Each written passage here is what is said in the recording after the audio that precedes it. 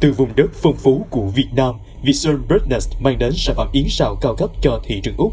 Yến hũ chân đường, yến hũ chân đông trùng hạ thảo và tổ yến nguyên chất.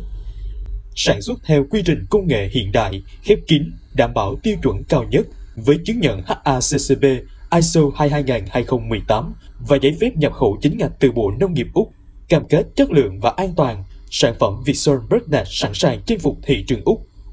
Chú trọng đến từng chi tiết, đảm bảo sản phẩm an toàn, sạch và dinh dưỡng.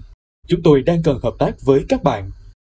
Vietsun Birdnet đem đến sức khỏe và phồn vinh từ thiên nhiên. Hãy trở thành đối tác của chúng tôi ngay hôm nay. Anh, em làm sao đi bước này? Thử cách này xem. Này em, Sao anh? em biết là không ai được phép kêu em gửi cho họ ảnh của em nhé. Nếu em không chắc thì em cứ nói chuyện với anh. Ừ, Dạ, tuyệt. Tuyệt. Mỗi cuộc chuyện trò giúp chúng ta tiến gần hơn với thế giới không có lạm dụng tình dục trẻ em. Hãy cùng nhau chấm dứt lạm dụng tình dục trẻ em. Mỗi lúc một cuộc chuyện trò. Được chấp thuận bởi chính phủ Úc Canberra.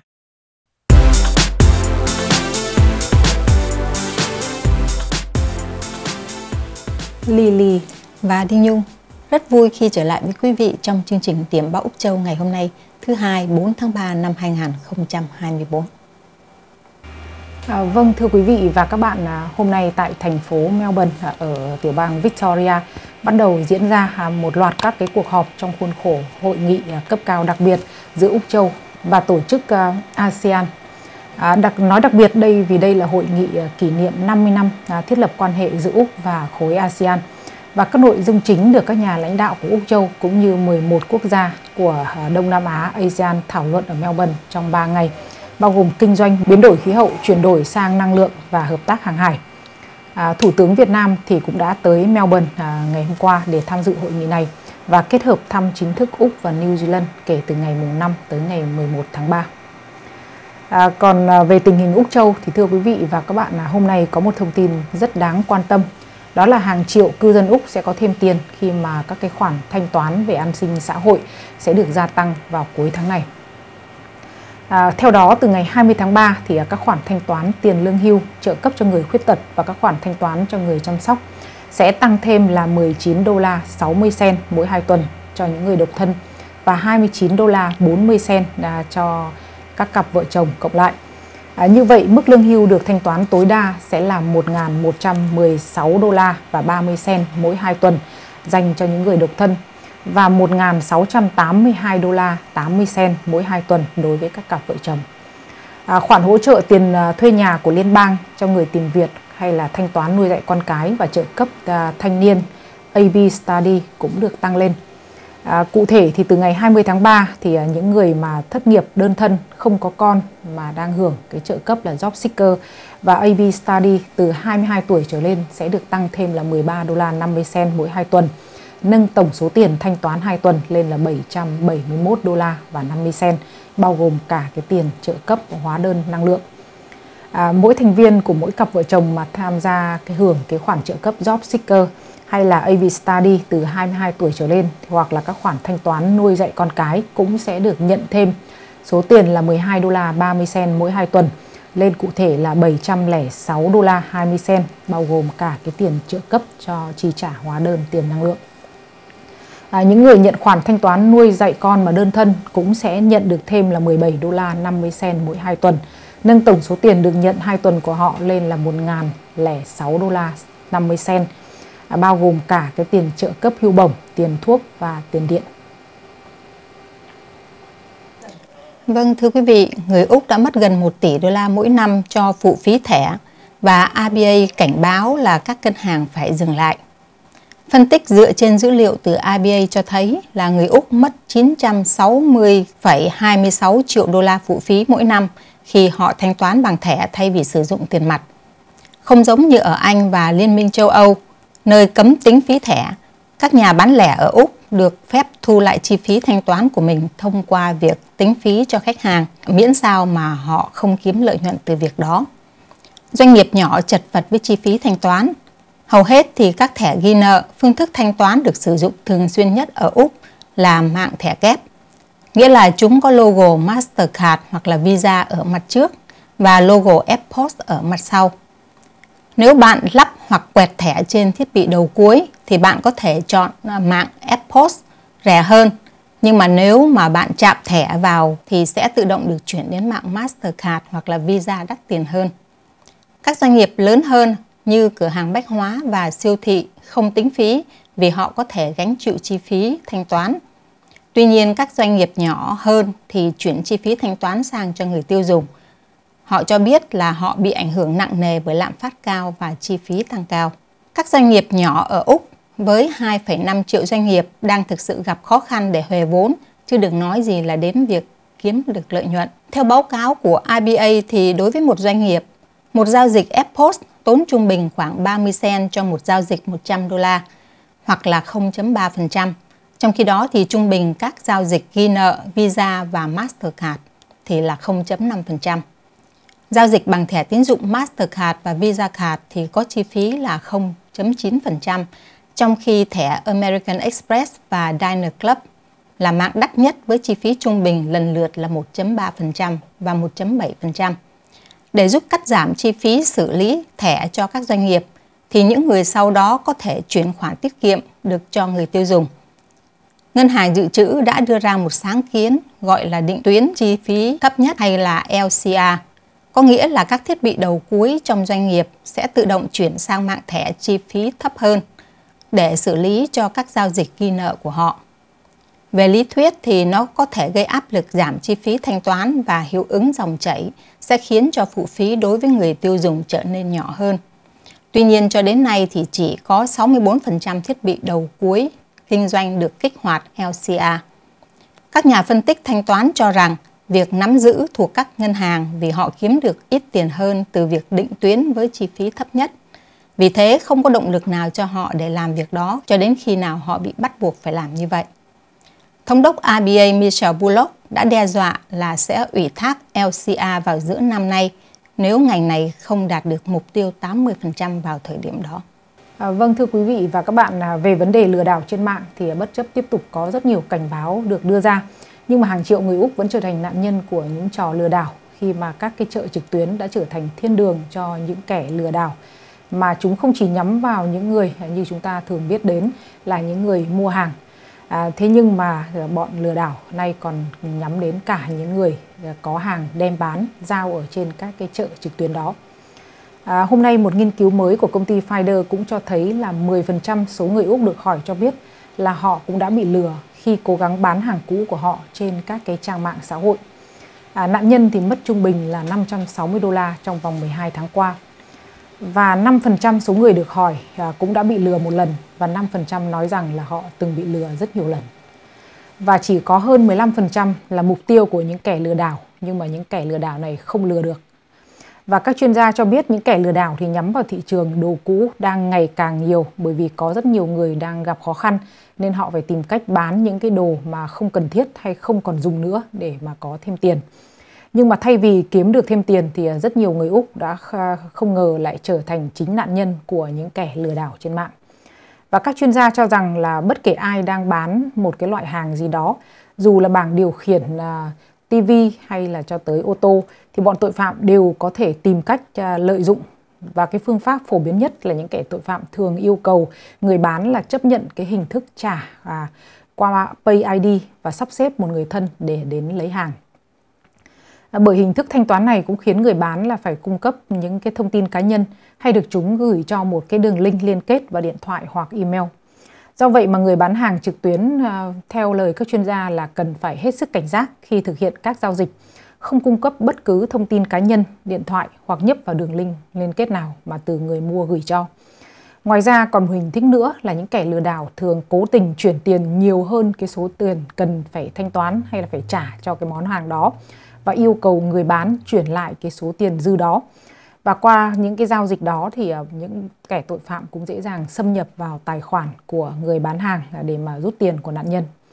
Do vậy, các chuyên gia khuyên là nếu ai đang bán hàng trên các cái nền tảng à, mạng xã hội thì hãy nhấp vào hồ sơ của người mua để xem liệu họ có vẻ hợp pháp và có bất cứ đánh giá xếp hạng nào ờ, về tư cách người mua đó hay không. Ờ, và nhận tiền mặt ờ, khi mà bán hàng cũ trên mạng như vậy thì cũng được cho là an toàn hơn nhưng mà cũng nên chỉ chấp nhận là nhận tiền mặt và trao hàng ở những địa điểm công cộng. Vâng, thưa quý vị, một nhà bán lẻ lớn của Úc đã bị kiện vì cáo buộc không giao hàng trăm nghìn sản phẩm trong khung thời gian giao hàng đã quảng cáo. Công ty Mosaic bao gồm Rivers, Katie, Rockman, Miller, Autograph, Bemi, Crossroad và WLAN đang bị Ủy ban Cạnh tranh và Người tiêu dùng ACCC của Úc đưa ra tòa án liên bang. ACCC tuyên bố rằng thương hiệu Mosaic đã vi phạm luật người tiêu dùng của Úc khi không giao hàng trăm nghìn sản phẩm cho khách hàng trong khung thời gian đã được quảng cáo trên trang web của mình. Ủy viên ACCC Lisa Carver cho biết là cơ quan quản lý đã nhận được hàng trăm đơn khiếu nại về việc giao hàng chậm trễ. Khung thời gian giao hàng mà nhà bán lẻ nêu ra rất khác nhau, nhưng thường là từ 2 cho đến 17 ngày làm việc kể từ ngày mua. Bà Carver cho biết là hơn 26% các mặt hàng được đặt hàng đã được gửi đi ít nhất là 20 ngày và trong một số trường hợp là 40 ngày sau ngày mua. ACCC cáo buộc rằng tình hình liên quan đến các đơn đặt hàng được thực hiện từ ngày 23 tháng 9 năm 2021 cho đến ngày 31 tháng 3 năm 2022 và tuyên bố sai lệch hoặc gây hiểu lầm cho người tiêu dùng của các thương hiệu Mosaic. Cơ quan quản lý cũng tuyên bố rằng công ty đã chấp nhận sai khoản thanh toán cho hàng hóa trong cùng thời gian sau khi không giao đơn hàng đặt trong khung thời gian quảng cáo hoặc là khung thời gian hợp lý hoặc hoàn toàn không giao hàng. ACCC cũng cáo buộc rằng trong khoảng thời gian từ ngày 23 tháng 9 năm 2021, Mosaic Brand đã trình bày sai về quyền bảo đảm của người tiêu dùng trong các điều khoản và điều kiện được công bố trên 8 trang web của mình. Trong đó tuyên bố rằng người tiêu dùng chỉ đủ điều kiện để được hoàn tiền cho một số sản phẩm bị lỗi nếu như họ tìm thấy lỗi trong vòng 6 tháng kể từ ngày mua. Bà Carver cho biết, theo luật người tiêu dùng của Úc, thì việc hoàn tiền cho các sản phẩm bị lỗi không có thời hạn sử dụng cụ thể. Thương hiệu Mosaic được news.com.au liên hệ để đưa ra bình luận, được niêm yết trên Sở Giao dịch Chứng khoán Úc và điều hành khoảng 804 cửa hàng trên toàn quốc. À, vâng, còn trong lĩnh vực xây dựng thì thưa quý vị và các bạn, à, ngày hôm nay có thông tin là về một nhóm các công ty liên kết với một công ty xây dựng à, có các cái địa điểm xây dựng trải dài ở khắp bốn tiểu bang của Úc Châu đã bị sụp đổ. Cụ thể là vào thứ Sáu tuần trước thì ba công ty là Rocks Projects của tập đoàn à, xây dựng Rock đã đi vào quản lý tự nguyện. Và những công ty này thì chuyên về tân trang và nội thất đã hoạt động được 26 năm qua trong lĩnh vực xây dựng ở Úc Châu với 63 dự án hiện tại vẫn đang được triển khai trên khắp tiểu bang New South Wales, lãnh thổ thủ đô ACT, Victoria và cả Queensland. À, tất cả công việc đều đã bị tạm dừng và trang web của ba công ty này cũng đã không thể nào truy cập vào được. Và hiện chưa rõ công việc của 80 nhân viên à, sẽ ra sao vì hiện nay vẫn chưa có quyết định nào được đưa ra cho từng vị trí của họ. À, Post Project thì hoạt động trong lĩnh vực thương mại, à, có các hợp đồng thực hiện công việc tân trang cho các tòa nhà của chính phủ đặc biệt trong lĩnh vực y tế, chăm sóc người cao tuổi, khách sạn và giáo dục. Nhưng vào thứ Sáu thì các công ty này cũng đã phải tuyên bố phá sản. Và giám đốc duy nhất của công ty cho biết là ngành xây dựng hiện nay đang gặp khủng hoảng vì lãi suất cao, tình trạng thiếu lao động và hạn chế về nguồn cung nguyên liệu kể từ đại dịch đến nay. Và các công ty của tập đoàn Rock Group cũng đã không tránh được những khó khăn đó. Và trong giai đoạn này thì công ty đang tìm cách cái tái cơ cấu lại à, hoặc là sẽ bán bớt tài sản À, các thợ thủ công và nhà thầu phụ thì cũng đã được thông báo là đến các cái công trường xây dựng để à, tự dọn dẹp cái, cái, cái dụng cụ làm việc của mình bởi vì tại tất cả các dự án hiện nay đã tạm ngừng hoạt động. À, theo Ủy ban xây dựng Queensland thì à, ở Queensland có công ty là à, là Rock Project thì công ty này cũng đã có giấy phép hoàn thành các công trình xây dựng trung bình và được đánh giá là nhà xây dựng loại 3, tức là nghĩa công ty là cũng đã tạo ra doanh thu trong khoảng từ 12 triệu đô la đến 30 triệu đô la. Công ty này thì trên à, website của Ủy ban xây dựng Queensland thì lại nêu rõ là có rất nhiều thành tích trong lĩnh vực xây dựng và không có bất cứ sai sót nào trong hồ sơ kỹ thuật. À, tuy nhiên một báo cáo của công ty Creditor Watch thì lại cho thấy một điều khác, đó là tập đoàn Rock này thường thanh toán tiền chậm. Họ thường thanh toán trong à, vòng 21 ngày, à, tức là chậm hơn rất nhiều so với mức trung bình của ngành là chỉ là 6 ngày.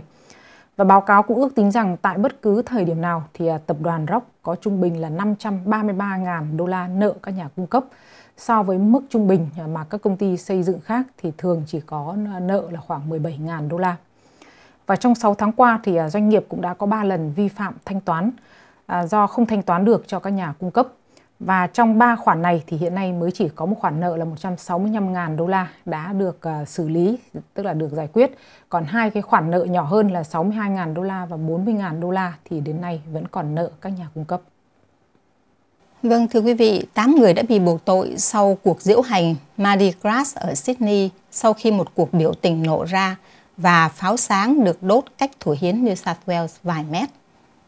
Theo cảnh sát, ước tính có khoảng 120.000 khán giả và 12.500 người tham dự sự kiện nổi tiếng ngày hôm qua.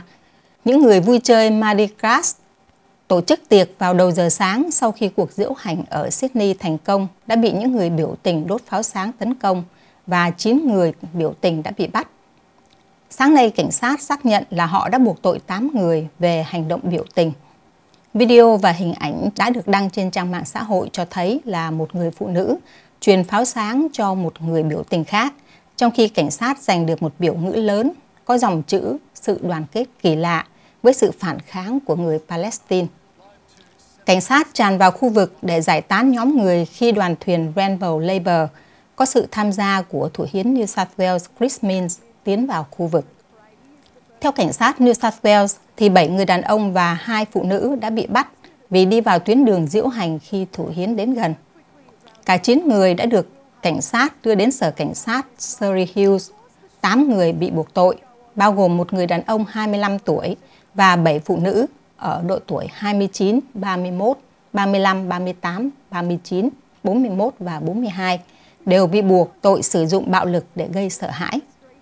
Người thứ 9 là một phụ nữ 29 tuổi đã được thả để chờ điều tra thêm. Tất cả đều được tại ngoại và sẽ hầu tòa một ngày sau đó. À, vâng, thưa quý vị và các bạn, còn trong uh, lĩnh vực an ninh thì ở Melbourne lại xảy ra một vụ trộm đột nhập nhà dân mà khi hiện nay cảnh sát cũng đang truy lùng 6 ờ, người đàn ông vì đột nhập gây bạo lực trong một căn nhà ở phía tây nam của thành phố. À, nhóm này đột nhập vào ngôi nhà trên phố Paulet ở Melbourne vào khoảng nửa đêm hôm qua. Và chúng cầm theo vũ khí đe dọa ba người trong nhà và đốt cháy một chiếc ô tô đỗ ở bên ngoài trước cửa gara trước khi rời hiện trường trên một chiếc xe khác. À, may mắn là chỉ có một người trong nhà bị thương nhẹ à, và cũng không cần phải đến bệnh viện để điều trị. Vâng thưa quý vị, hai chiếc máy bay của Qantas đã va chạm một thời gian ngắn tại sân bay Perth trong đêm trong đó chuyến bay hạ cánh từ Canberra đã cắt vào cánh của một chiếc máy bay đang đứng yên khác trên đường băng. Chuyến bay Canberra hạ cánh vào lúc 21 giờ và đang vào cổng thì xảy ra va chạm. Theo Qantas thì máy bay đang tiến đến cổng với tốc độ thấp thì hai chiếc máy bay đều là Boeing 737-800. Vô tình tiếp xúc, người phát ngôn của Qantas cho biết là khi đến gần cổng ở tốc độ thấp thì đầu cánh của một máy bay đã tiếp xúc với đầu cánh của một máy bay đang đứng yên khác ở cổng liền kề. Các khách hàng và phi hành đoàn đang bước xuống máy bay thì cảm thấy giật mình khi đầu cánh máy bay tiếp xúc. Sau khi đánh giá tình hình thì cơ trưởng khuyên hành khách là tiếp tục xuống máy bay như bình thường. Các kỹ sư đang kiểm tra cả hai máy bay và một cuộc điều tra đang được tiến hành. Sân bay Perth cho biết là không có hành khách nào bị thương trong khi Qantas xác nhận là phi hành đoàn cũng đã rời khỏi máy bay mà không hề hấn gì. Qantas đã mất ngôi vị hãng hàng không an toàn nhất thế giới vào đầu năm nay, khi mà Qantas đã có một năm đầy biến động vào năm 2023 với việc cựu giám đốc điều hành Alan Joyce từ chức vào tháng 9 sau khi hãng hàng không này bị cáo buộc bán vé cho hơn 8.000 chuyến bay mà hãng đã hủy bỏ. Air New Zealand đã đánh bại Qantas với 1,5 điểm để giành vị trí dẫn đầu trong danh sách hàng năm của airlinerating.com. CEO mới của Qantas là Vanessa Hudson đã xin lỗi vì đã khiến cho khách hàng thất vọng và cho biết hãng hàng không sẽ nỗ lực xây dựng lại niềm tin của công chúng. À, còn về tiêu dùng thì thưa quý vị và các bạn là lại có thêm một sản phẩm nữa được lệnh thu hồi khỏi các kệ hàng trên quầy.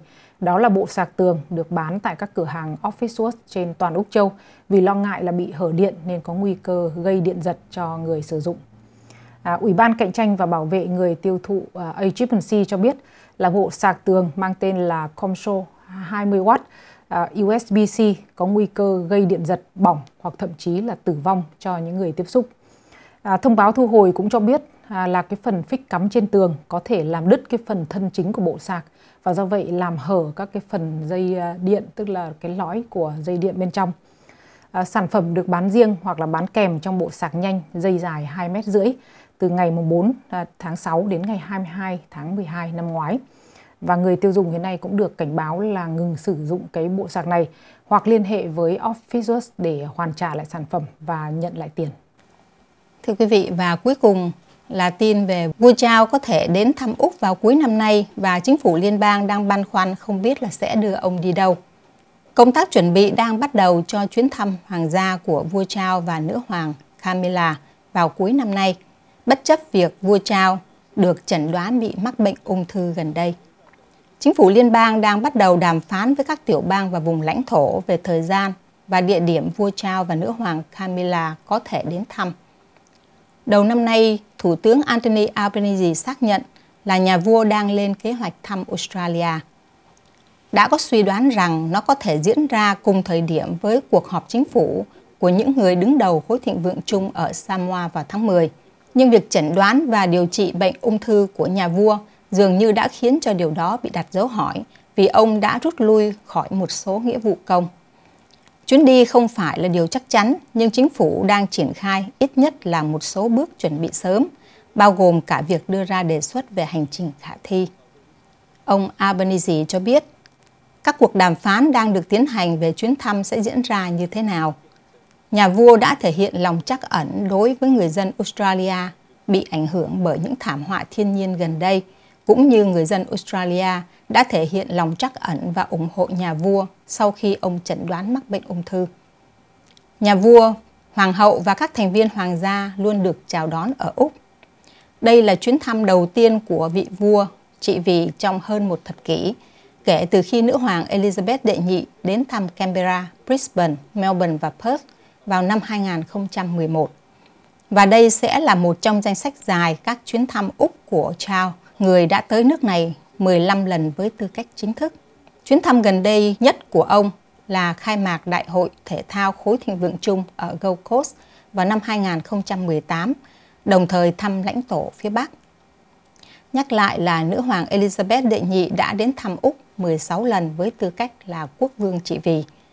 Các chuyến đi của nữ hoàng thường kéo dài một hoặc hai tuần và đi đến ít nhất là một số tiểu bang và vùng lãnh thổ và thường là một số trung tâm khu vực. À, vâng, thưa quý vị và các bạn, à, chương trình Điểm báo Úc Châu của chúng tôi đến đây xin tạm dừng. À, chúng tôi xin cảm ơn sự à, quan tâm theo dõi của quý vị và hẹn gặp lại quý vị trong các chương trình vào ngày mai. Linh Nhung xin trân trọng kính chào.